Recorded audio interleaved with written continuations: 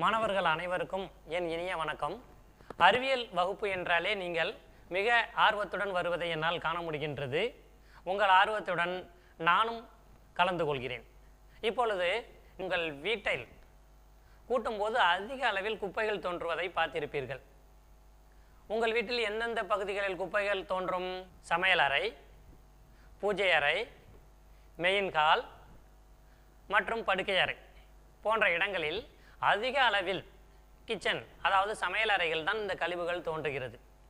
மேலும் உங்களது புத்தக பையை கொட்டி பார்த்தால் இரண்டு நாளைக்கோ அல்லது அன்றன்றோ மாலை நேரத்தில் புத்தக பையை கொட்டி பார்க்கும்போது அதில் அதிக அளவில் கழிவுகள் அதாவது நோட்டு தாள்கள் பென்சில் சிவிய முனைகள் அது தவிர ரப்பர் தேய்த்த அந்த உருண்டு சுருண்ட ரப்பர் பகுதி போன்ற கழிவுகளாக காணப்படும்.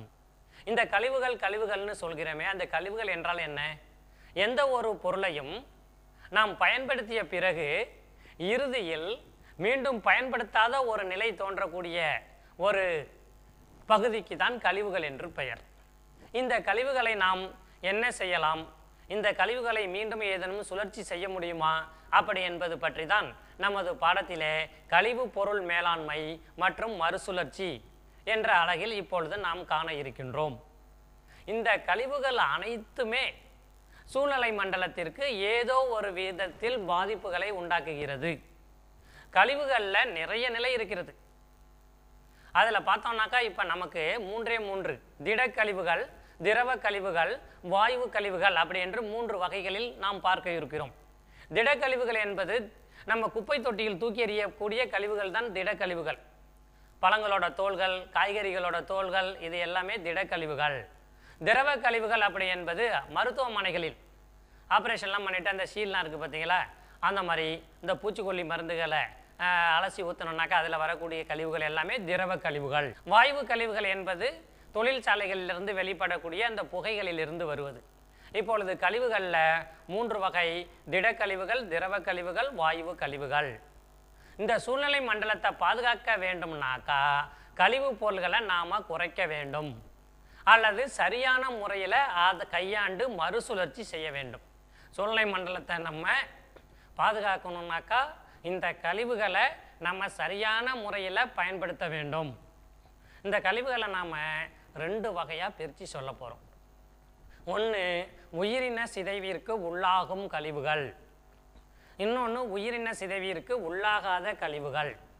உயிரின சிதைவிற்கு உள்ளாகும் கழிவுகள் அப்படின்னாக்கா ஒரு கழிவுகளை தூக்கி போட்டோம்னாக்கா அந்த மண்ணோட மண்ணை மக்கி போயிடும் தனியாக உயிரின சிதைவுக்கு உள்ளாகாது அப்படின்னாக்கா எத்தனை ஆண்டானாலும் அந்த கழிவுகள் எப்படி போட்டோமோ அதே நிலையில் தான் காணப்படும். அதனால் இந்த திடக்கழிவுகள் இருக்கு இல்லையா மூன்று கழிவுகள் சொன்னேன். திடக்கழிவு திரவ கழிவு வாயு கழிவு இந்த திடக்கழிவுகளில் நாம் இரண்டு வகையாக பிரிக்கலாம். ஒன்று உயிரின சிதைவிற்கு உள்ளாகும் கழிவுகள் அதாவது மட்கும் கழிவுகள். மண்ணில் போட்டோம்னா எளிய பொருள்களாக பிரிக்கப்பட்டுவிடும். பாக்டீரியா மற்றும் பூஞ்சைகளால். மண்ணில் போட்டோம்னாக்கா உயிரின சிதைவுக்கு அதாவது உயிரிகள் அதை டச்சு கூட பண்ணாது தொடாது. அதை பார்க்கவே பார்க்காது. அதனால் எப்படி போட்டோமோ அதே நிலையில் தான் பல மாதங்கள் ஆனாலும் அப்படியே இருக்கும். அந்த கழிவுகளுக்கு உயிரின சிதைவுக்கு உள்ளாகாத கழிவுகள். அதற்கு மக்காத கழிவுகள் என்ற ஒரு பெயரும் உண்டு. அப்போ இந்த திடக்கழிவுகளை உயிரின சிதைவிற்கு உள்ளாகும் கழிவுகள் உயிரின சிதைவிற்கு உள்ளாகாத கழிவுகள்னு இரண்டு வகைப்படுத்தலாம். இப்போ உயிரின சிதைவிற்கு உள்ளாகக்கூடிய கழிவுகள் அதாவது மக்கும் கழிவுகளை பற்றி நாம் பார்க்க போகிறோம் உயிரின சிதைவு அப்படின்னா என்ன அப்படின்னு கேட்டிங்கன்னா இந்த பொருள்கள்லாம் இயற்கையிலேயே காணப்படுதில்ல மண்ணில். மண்ணில் நீர் காற்றில் இருக்க ஒரு ஆக்சிஜன் சூரியன்லேருந்து வரக்கூடிய அந்த புற ஊதா கதிர்கள் அதை தவிர மண்ணில் உள்ள நுண்ணுயிரிகள் பாக்டீரியாக்கள் அதை தவிர உள்ள பூஞ்சைகள் எல்லாமே சேர்ந்து இந்த பொருள்களை அதாவது இந்த கழிவுகளை சிதைக்கக்கூடிய நிகழ்ச்சி தான் உயிரின செறிவு. இப்போ உதாரணத்துக்கு வாழைப்பழத்தோல் இருக்குல்ல வாழைப்பழத்தோல் இலையெல்லாம் மக்கி போய் பழுத்து விழக்கூடிய அந்த இலையோட தலைகள் எல்லாத்தையுமே மண்ணில் போடும்போது என்ன ஆகும்னாக்கா அந்த மண்ணில் இருக்கக்கூடிய பாக்டீரியாக்கள் அந்த பூஞ்சை அதை தவிர சிறு பூச்சிகள் எல்லாமே அந்த வாழைப்பழத்தோல் இலைத்தலைகள் மேலே செயல்பட்டு மண்ணோட மண்ணாக மக்கி போக வச்சிடுது. அடுத்தது காய்கறிகள். வேஸ்ட்டு அழுகி போன காய்கறிகள் அதுக்கப்புறம் பல கழிவுகள் அழுகி போன பழங்கள் அதுக்கப்புறம் உணவு கழிவு. அதை தவிர தோட்டக்கழிவுகள் கழிவுகள். கழிவுகள்லாம் தோட்டத்தில். இலைகளை வெட்டி அப்படியே போடுவோம். தலை சில தேவையில்லாத மரங்களெல்லாம் வெட்டி கழிச்சு போடுறோம் இல்லைங்களா அந்த இலையெல்லாம்? அதெல்லாம் தோட்ட கழிவுகள். அந்த தோட்டத்திலே மக்கி போன சில இலைகள். அதெல்லாம் பார்த்தீங்கன்னா தோட்ட கழிவுகள் அப்படின்னு சொல்லுவோம். அந்த தோட்ட கழிவுகளும் இந்த உயிரின சிதைவுக்கு உள்ளாகுது. இதெல்லாம் பார்த்தீங்கன்னா இயற்கையிலேயே அந்த பாக்டீரியாக்கள் பூஞ்சைகள்லாம் மண்ணோட மண்ணாக அதை பிரித்து கனிம கரிம பொருள்களாக மாற்றி கொடுத்துரும். அடுத்தது இயற்கை காரணிகளாக இருக்கக்கூடிய அந்த ஆக்சிஜன் இருக்குது பார்த்தீங்களா ஆக்சிஜன் அந்த நீர் ஈரப்பதம் அதை தவிர சூரியன்கிட்டருந்து வரக்கூடிய அந்த வெப்பம் எல்லாமே இந்த மக்கி போகிற செயல்களுக்கு உதவி செய்யுது. அப்படி உதவி செய்கிறதுனால சிக்கலான பொருளை எளிய பொருளாக மாற்றி தாவரத்துக்கு கொடுத்துடுது. அல்லது மண்ணோட மண்ணாக மக்கி போக வச்சிடுது. இவ்வாறு இந்த உயிரின சிதைவிற்கு உள்ளான பொருள்கள் எளிய தாது பொருளாகவும் மிக எளிய சத்து பொருளாகவும் மண்ணை அடைந்து வளப்படுத்துகின்றன. புரியுதப்ப? இப்போ உயிரின சிதைவிற்கு உள்ளாகும் கழிவுகளை பற்றி நம்ம பார்த்தோம். இப்போ அடுத்தது உயிரின சிதைவிற்கு உள்ளாகாத கழிவுகள். உயிரின சிதைவிற்கு உள்ளாகாத கழிவுகள்லாம் இதுக்கு மக்காத கழிவுகள்ங்கிற ஒரு பேரும் உண்டு. இந்த உயிரின சிதைவிற்கு உள்ளாகாத கழிவுகள் எத்தனை மாதமோ ஆண்டானாலும் அப்படியே தான் இருக்கும்.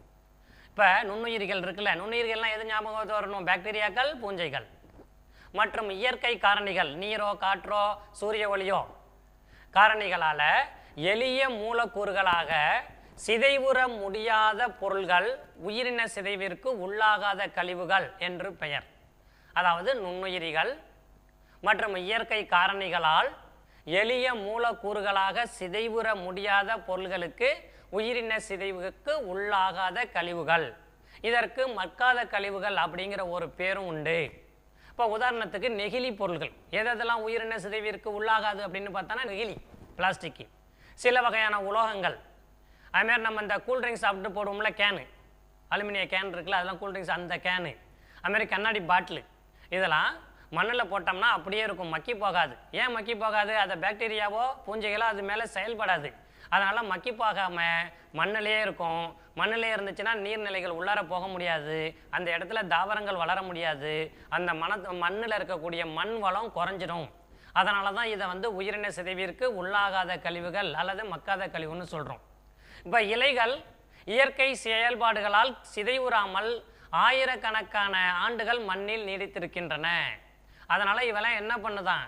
இந்த கண்ணாடி பாட்டிலு இந்த அலுமினிய கேன் இதெல்லாம் சிதைவு படாமல் மண்ணிலேயே ஆண்டாண்டு காலமாக இருக்கிறதுனால இந்த மண்ணோட வளம் பாதிக்கப்படுகிறது. அதனால் இந்த மக்காத கழிவுகளை நாம் பயன்படுறத கொஞ்சம் கொஞ்சம் குறைச்சிக்கிட்டே வரணும். சரியா? இப்போ உயிரின சிதைவிற்கு உள்ளாகாத கழிவுகள் அப்படின்னு என்னத்தை சொல்லணும்னு கேட்டிங்கன்னாக்கா நெகிழி பொருள் உலோகம் அலுமினிய கேனு கண்ணாடி பாட்டில். இதுக்கு இன்னொரு பேர் மக்காத கழிவுகள். அதுக்கு அடுத்தது நம்ம பார்க்க போகிறது உயிரின சிதைவுக்கு உள்ளாகக்கூடிய அப்புறம் உள்ளாகாத கழிவுகளுக்கெல்லாம் எடுத்துக்காட்டு வேணும்ல? அந்த எடுத்துக்காட்டு என்னன்னு சொன்னோம்னா ஏற்கனவே உனக்கு நான் சொன்னேன். உயிரின சிதைவுக்கு உள்ளாகக்கூடிய கழிவுகள் எதெல்லாம் சொன்னோம்? உணவு கழிவு பேப்பரு காய்கறியோட தோல்கள் புற்கள் பழத்தோட தோல் ஆரஞ்சு இந்த அண்ணாச்சிலாம் வெட்டி அதான் பழத்தோட தோல். எல்லாமே வந்து உயிரின சிதைவுக்கு உள்ளாகக்கூடிய அந்த கழிவுகள்.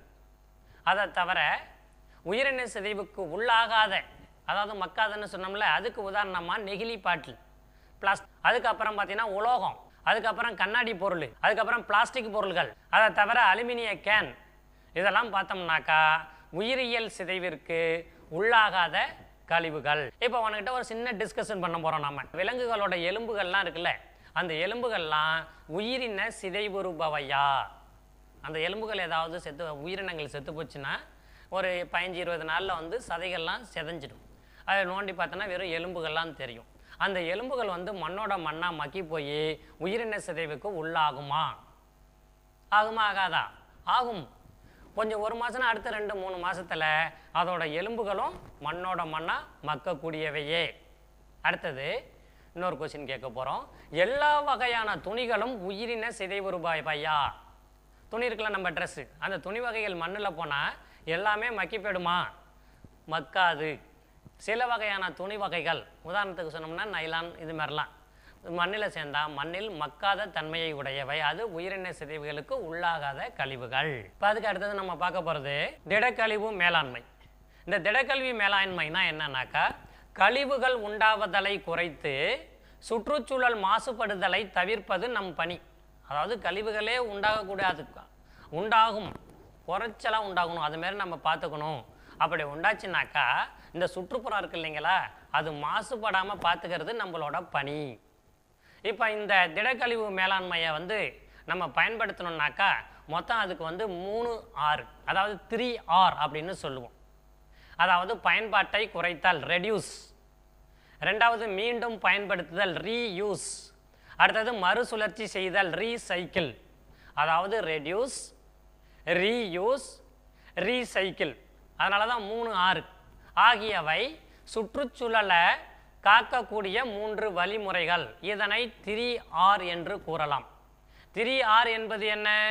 பயன்பாட்டை குறைத்தல் மீண்டும் பயன்படுத்துதல் மறுசுழற்சி செய்தல். ரெடியூஸ் ரீயூஸ் ரீசைக்கிள் இதனை திரி ஆர் என்றும் கூறுவர். டூ மார்க் கொஸ்டினில் இது வரும். திரி ஆர் என்றால் என்ன?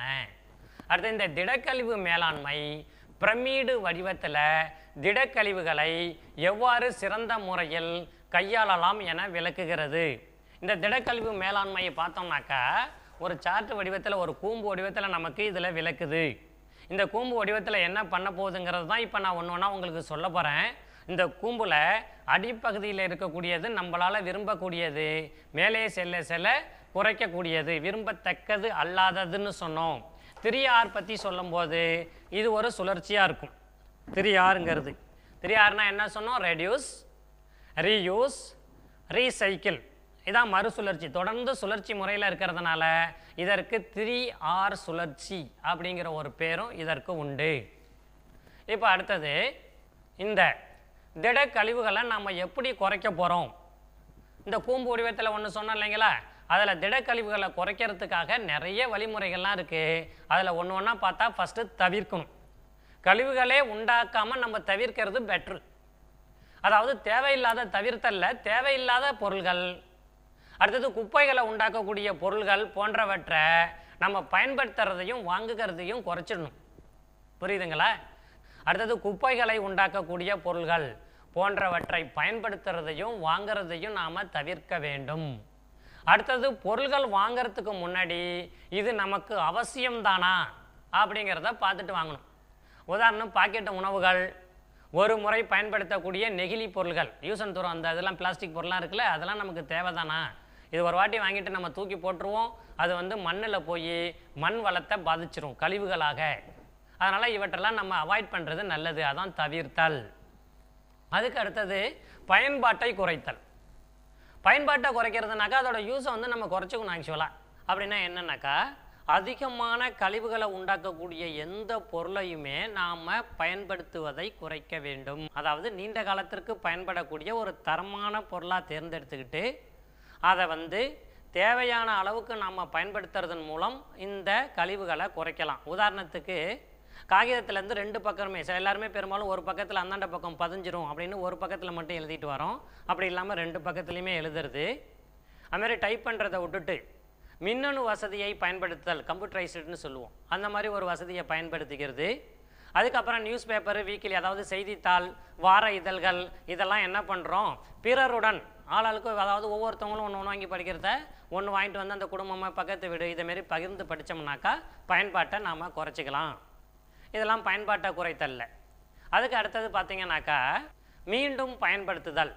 பயன்பாட்டை குறைத்தலுக்கு அடுத்ததாக மீண்டும் பயன்படுத்துறது. ஒரு முறை பயன்படுத்தினால் வீணாக போகும் பொருளிற்கு பதிலாக மீண்டும் மீண்டும் பயன்படும் பொருள்களை பயன்படுத்தலே மீண்டும் பயன்படுத்துதல் ஆகும்.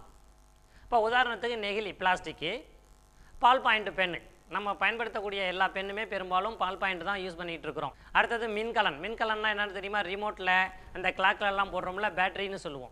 அதுக்கு பேர் வந்து தமிழில் மின்கலன். போன்றவற்றிற்கு பதிலாக இங்கு பேனா.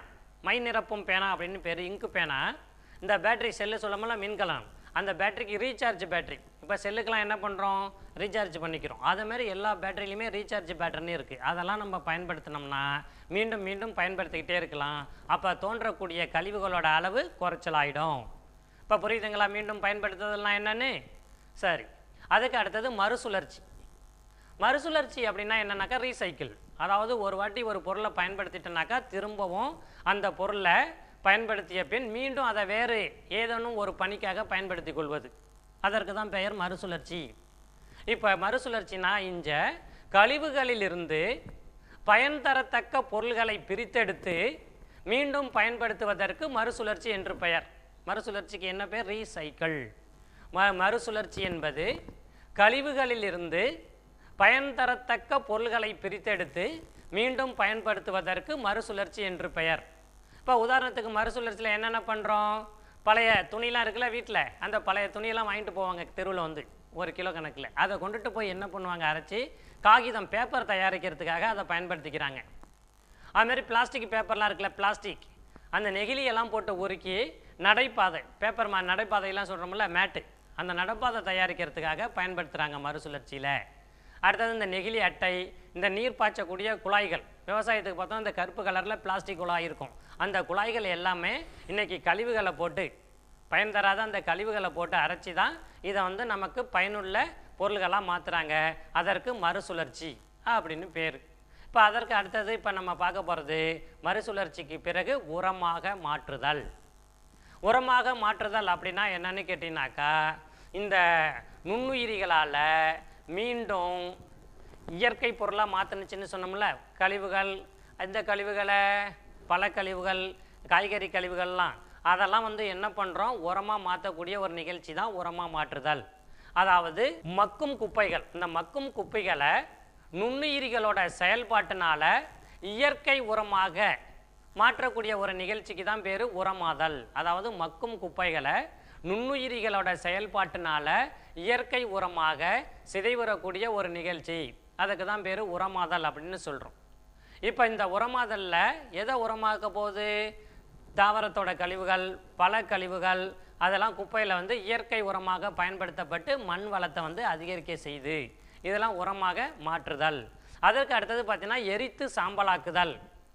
சில டவுனில் பார்த்தீங்கன்னாக்கா பெரிய பெரிய கிரவுண்டு பக்கத்துலலாம் அடிக்கடி ராத்திரி இரவு நேரத்தில் எரிஞ்சிட்டு இருக்கும் பார்த்துருக்கலாம். நம்ம பார்க்கும்போது ஏதோ எரியுதுன்னு நினச்சிட்டு இருப்பேன் அது என்ன அப்படின்னு பார்த்தீங்கன்னா அதெல்லாம் கழிவுகளை போட்டு எரிப்பாங்க. எரியக்கூடிய அந்த திடக்கழிவுகளை அதுக்குன்னு வடிவமைச்ச ஒரு உலையை வச்சுக்கிட்டோம். உலைனாக்கா பெரிய நீண்ட உருளை போன்ற ஒரு பகுதி. அந்த உலைகள் மூலமாக எரித்து சாம்பலாக்குவாங்க. அதில் எதெல்லாம் போட்டு எரிப்பாங்க அப்படின்னாக்கா மனிதனோட உடல் கழிவுகளை மருத்துவ கழிவுகள். மருத்துவ கழிவுகளை எதை சொல்லுவோம்? ஆப்ரேஷன் பண்ணாங்கனாக்கா அங்கே இருக்கக்கூடிய இந்த சீலு அந்த பஞ்சிலஸ்டாக இருக்கக்கூடிய அந்த ரத்தம் வெட்டி போட்ட அந்த உறுப்புகள் இதெல்லாம் வந்து மருத்துவ கழிவுகள். இன்ஜெக்ஷன் பண்ணதும் இந்த சிரஞ்சி அந்த நீடில் அதுவும் மருத்துவ கழிவுகளில் வரும். அதுமாரி இந்த இப்படி போட்டு எல்லா பொருள்களையும் என்ன பண்ணுவாங்கன்னா எரிச்சு விட்ருவாங்க அப்படி எரிக்கிறதுனால என்ன ஆகும்னாக்கா அதில் இருக்கக்கூடிய நோய் தொற்று கிருமிகள்லாம் இருக்குல்ல அந்த நோய் தொற்று கிருமிகள்லாம் அதோடய அழிஞ்சிடும் நோய் உண்டாக்கக்கூடிய பாக்டீரியா வைரஸ்கள்லாம் அந்த ஷீலில் இருக்கும் நிறையா. எரிக்கும் போது எல்லாமே அழிஞ்சு இறந்துடும். அதுக்கு அடுத்தது இந்த எரியுது பார்த்தீங்களா அந்த வெப்பத்தை பயன்படுத்திக்கிட்டு மின்சாரமும் தயாரிக்கிறாங்களாம். அந்த வெப்பத்தை பயன்படுத்தி மின்சாரத்தை தயாரிக்கிறாங்க.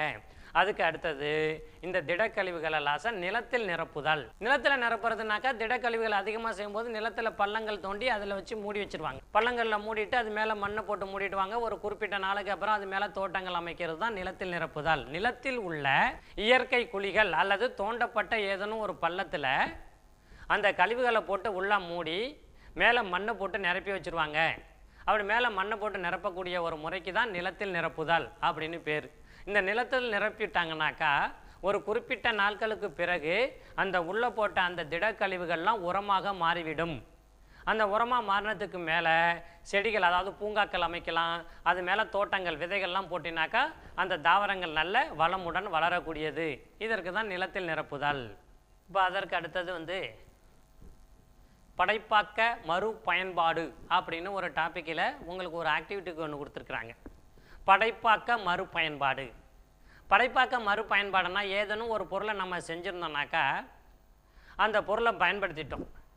மீண்டும் ஒரு அந்த பொருளை பயன்படுத்திட்டு நம்ம தேவையில்லை அப்படின்னு ஒரு பொருளை தூக்கி எறிஞ்சிட்டோம்னாக்கா பயன் தராத அந்த தூக்கி எறியப்பட்ட பொருளிலிருந்து நம்ம எடுத்து அதை மீண்டும் பயனுள்ள பொருளாக மாற்றினோம்னாக்கா அதுக்கு படைப்பாக்க மறு பயன்பாடு.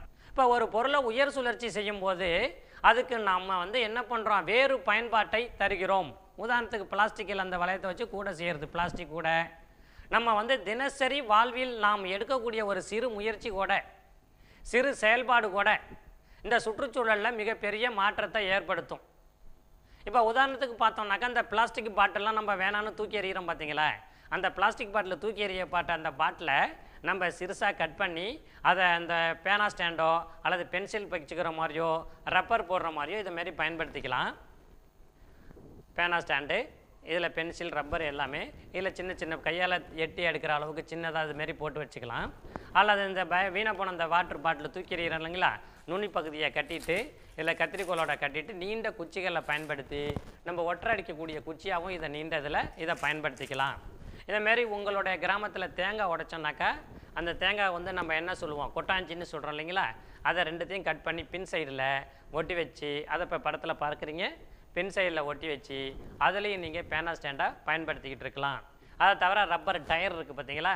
டயரில் தூக்கி எறியப்பட்ட அந்த பெரிய பெரிய கார்களில் இருக்கக்கூடிய அந்த டயர்களில் பயன்படுத்தி நம்ம நாற்காலி மாதிரி அதை செய்யலாம்.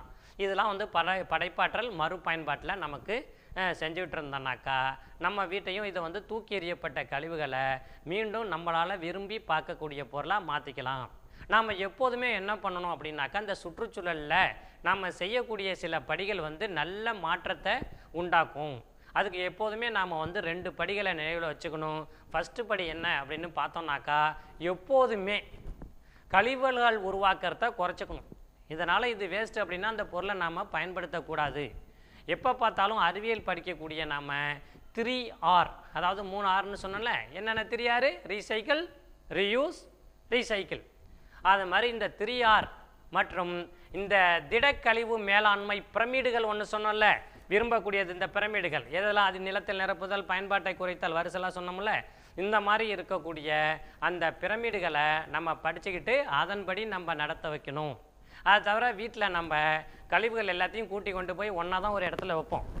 அதுமாரி செய்யக்கூடாது. பள்ளிகளெல்லாம் பார்த்தீங்கன்னா தனித்தனியாக பிரிக்கணும் எப்போதுமே. மக்கும் குப்பைகள் மக்காத குப்பைகள்.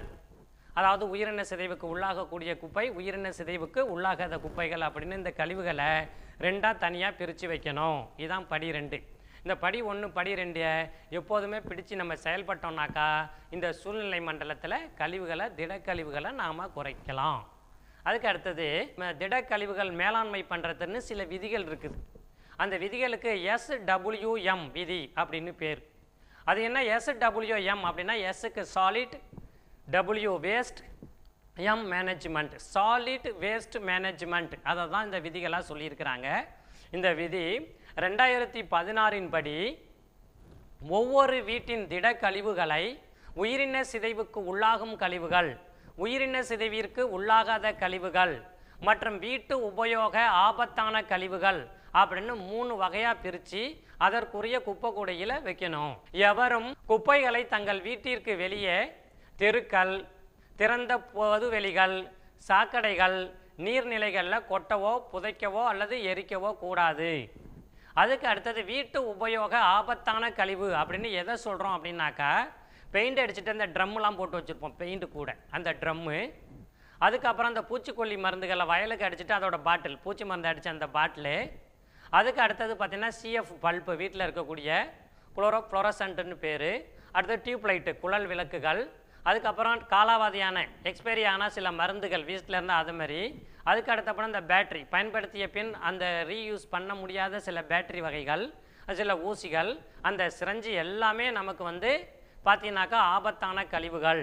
இப்போ புத்தகத்தில் பார்த்தோம்னாக்கா வச்சுங்களேன் இந்தியாவில் இருக்கக்கூடிய இந்த மக்கள் தொகையில் ஒவ்வொரு மக்களும் ஒரு நாளைக்கு ஜீரோ புள்ளி நாலு அஞ்சு கிலோகிராம் அதாவது அரை கிலோவுக்கும் சற்று குறைச்சலான அந்த திட கழிவுகளை உற்பத்தி பண்ணுறாங்களாம் அரை கிலோவுக்கும் சற்று கம்மிங்கிறது குறைச்சலான அளவு தான் இருந்தாலும் நம்ம இந்தியாவோட மக்கள் தொகை உலகத்தில் மக்கள் தொகையில் இரண்டாவது இடத்துல இருக்கிறோம். அதனால் இந்த கழிவுகளோட அளவு சேர்த்து வச்சோம்னாக்கா ஜீரோ புள்ளி நாலு அஞ்சு கிலோகிராம் கழிவுகளை சேர்த்து வச்சோம்னாக்கா அந்த கழிவுகளை ஒரு வண்டியில் ஏற்றுனாக்கா கிட்டத்தட்ட ரெண்டாயிரத்தி எண்ணூறு கிலோமீட்டர் நம்ம கன்னியாகுமரியிலேருந்து டெல்லி வரைக்கும் வண்டி வந்து அணிவகுத்து நிற்குமா கற்பனை பண்ணி பாருங்கள் அதனால் நம்ம கழிவுகளோட ப எண்ணிக்கையை உற்பத்தி பண்ணுறத குறைச்சலாக பயன்படுத்தணும். ரெண்டாவது நம்ம இந்தியாவில் கிட்டத்தட்ட ஐநூற்றி முப்பத்தி ரெண்டு மில்லியன் கிலோகிராம் வந்து ஒவ்வொரு நாளைக்கும் கழிவுகளை வந்து உற்பத்தி பண்ணிக்கிட்டு இருக்கோம். அதனால் இந்த கழிவுகளோட அளவை நம்ம வந்து குறைச்சலாக பயன்படுத்தணும். அதுக்கு அடுத்தது வந்து ஒரு செயல்பாடு உங்களுக்கு சொல்லியிருக்கிறாங்க. நீங்கள் செஞ்சு பாருங்கள் ஆக்டிவிட்டி ஒர்க்கு மண்குழி உரம் தயார் செய்தல். நம்ம வீட்டிலையோ உங்கள் வீட்டு தோட்டத்தில் அல்லது பள்ளிக்கூடத்து ஓரத்தில் அல்லது உனக்கு பிடித்தமான ஈரமான ஒரு பகுதியில் இந்த மண்குழி உரத்தை நம்ம தயார் பண்ண போகிறோம் ஒரு அடி பள்ளம் உள்ள ஒரு குழி எடுத்துக்க. அந்த ஒரு ஒரு அடி பள்ளத்தில் வந்து என்ன பண்ணுறோம் அதை கொஞ்சோண்டு மணல் அதில் போட்டு நிரப்பிடுங்க. அந்த மணலில் காய்கறி தோல் பழத்தோல் அதுக்கு அடுத்தது பார்த்திங்கன்னா அந்த மரங்கள்லேருந்து விழுதில் இலை சருகுகள். அந்த காஞ்ச இலை அதுக்கப்புறம் பேப்பரு பென்சில் இது பிளாஸ்டிக் கழிவுகளை போடக்கூடாது. அதில் எல்லாத்தையும் போட்டு நிரப்பிட்டு ஈரமாக தண்ணீர் கொஞ்சம் தெளித்து வச்சுட்டு மேலே அட்டை போட்டியவோ அல்லது சாக்கை வச்சு மூடி வச்சிட வேண்டியது. அதுக்கு முன்னாடி மூடுறதுக்கு முன்னாடி மண்புழுக்களை அதில் தூக்கி போட்டுரும் மூட்டை ஈரமான அந்த சாக்கு பையவோ அல்லது அட்டை போட்டி வச்சு மூடி வச்சிட்டிங்கனாக்கா ஒரு நாற்பத்தஞ்சு நாளுக்கு அப்புறம் பிறகு பார்த்தீங்கன்னாக்கா நீ ஏற்கனவே அதில் போட்ட பழக்கழிவுகள் அல்லது இலை அந்த பேப்பர் எதுவுமே இருக்காது. எல்லாம் கருப்பு கலராக உரமாக மாற்றப்பட்டுவிடும் இதுக்கு பேர் வந்து மண்புழு உரம் அப்படின்னு பேர். இந்த உரங்கள் வந்து தாவரங்கள் நன்றாக வளர்வதற்காக இது பயன்படுகிறது. இது மண்புழு உரக்குழி தயாரித்தல். இப்போ நம்ம கழிவு மேலாண்மை மற்றும் மறுசுழற்சியை பற்றி பார்த்தோம். இதெல்லாம் நல்ல விதமாக உனக்கு புரிஞ்சிருக்கும். இந்த பாடத்திலிருந்து உனக்கு சில கேள்விகள். கழிவுகள் அப்படின்னா என்ன? கழிவுகள் என்பது பயன்படுத்தப்பட்ட பின் மீண்டும் தேவையில்லாத ஒரு பொருளிற்கு கழிவுகள் என்று பெயர். இந்த கழிவுகளின் வகைகள் எத்தனை வகைப்படும்? வெரி குட் மூன்று வகைப்படும். திடக்கழிவுகள் திரவ கழிவுகள் வாயு கழிவுகள் திடக்கழிவுகள். எடுத்துக்காட்டு தருக. திடக்கழிவுகள் என்பது பழத்தோல் காய்கறி தோல் போன்றவை. இந்த திடக்கழிவுகளை நம்ம எவ்வாறு சுழற்சி செய்யலாம்? திடக்கழிவுகளை நம்ம த்ரீ ஆர் த்ரீ ஆர் அதாவது reduce reuse recycle three R முறைப்படி நம்ம அதை வந்து மறுசுழற்சி செய்து பயன்படுத்தலாம். இந்த திடக்கழிவு மேலாண்மை செய்கிறதுல எந்தெந்த பொருள்களை எரித்து சாம்பலாக்குவாய்? எரித்து சாம்பலாக்கக்கூடிய பகுதிகளில் எந்த பொருளை பயன்படுத்துவோம் அப்படின்னு கேட்டிங்கன்னா மருத்துவ கழிவுகள். ஏன் மருத்துவ கழிவுகளை வந்து எரிக்கணும் அப்படின்னு கேட்டிங்கன்னா அதில் நோய் தொற்று கிருமிகள் அதிகமாக இருக்கும். நோய் தொற்று கிருமிகள் அதிகமாக இருக்கிறதுனால துர்நாற்றம் வீசும். அந்த காரணத்திற்காக அந்த பொருள்களை எரித்து சாம்பலாக்க வேண்டும். எரித்து சாம்பலாக்கிறதுனால என்ன நமக்கு பயன்னா அதில் தீங்கு தரக்கூடிய கிருமிகள் அழிக்கப்பட்டு விடும். அப்படி எரிப்பறதனால் அந்த வெப்பத்திலிருந்து மின்சாரம் தயாரிக்கலாம். வெரி குட் அந்த வெப்பத்திலிருந்து மின்சாரத்தை நாம் தயார் செய்யலாம். அதுக்கப்புறம் மண்புழு மண்புழு உரக்குழியில் எந்த வகையான கழிவுகளை போட்டு அதில் மண்புழு உரத்தை தயார் பண்ணலான்னு கேட்டிங்கன்னாக்கா திடக்கழிவுகள். திடக்கழிவுகளில் குறிப்பாக உயிரின சிதைவிற்கு உள்ளாகக்கூடிய கழிவுகளை போட்டு பயன்படுத்தலாம். இதுவரை இந்த பாடத்தை அமைதியாக அன்பாகவும் விருப்பத்துடன் கேட்ட மாணவ செல்வங்களுக்கு எனது நன்றி.